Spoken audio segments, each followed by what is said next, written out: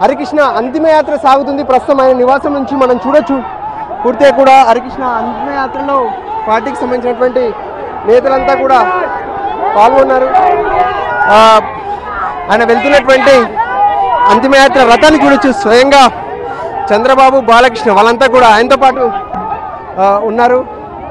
మరోపక్క పెద్ద ఎత్తున జనవాహిని మాత్రం వస్తుంది.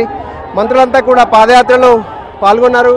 ఒకవైపు చూడొచ్చు వస్తున్నటువంటి జనం ఏ స్థాయిలో వస్తున్నారనేది అభిమానులను ఉదయం నుంచి కూడా అలో చేయనటువంటి పరిస్థితి. ప్రస్తుతం అందరినీ అలో చేస్తున్నారు. మెహదీపట్నం దాటుతుంది అంతిమయాత్ర. చంద్రబాబుకు సంబంధించినటువంటి కాన్వాయ్ ఇదే అంతిమయాత్రలో కనిపిస్తుంది మనకు. పెద్ద ఎత్తున తరలి వస్తున్నటువంటి జనం.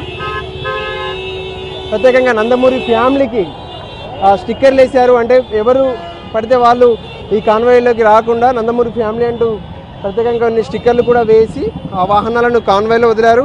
మిగిలిన మిగిలిన వాహనాలు ఏవి కూడా అలో చేయట్లేదు. కానీ టూ వీలర్స్తో పాటు అభిమానులు ఎవరైతే ఉన్నారో పెద్ద ఎత్తున వస్తూనే ఉన్నారు కనిపిస్తూనే ఉన్నారు. చూడొచ్చు ఫ్లైఓవర్ల పైనుంచి జనం పెద్ద ఎత్తున ఇక్కడికి చేరుకొని వాళ్ళంతా కూడా చివరిసారిగా హరికృష్ణని దర్శించుకునేందుకు వస్తున్నటువంటి పరిస్థితి చూడొచ్చు. కనుచూపు మేర జనవాహిని మనకు స్పష్టంగా కనిపిస్తుంది. ఏ- ఏ స్థాయిలో జనం ఉన్నారనేది కూడా మనం ఒకసారి పూర్తిగా పరిశీలించవచ్చు ప్రస్తుతం మెహదీపట్నం దాటుతున్నటువంటి కాన్వాయ్ ఇది.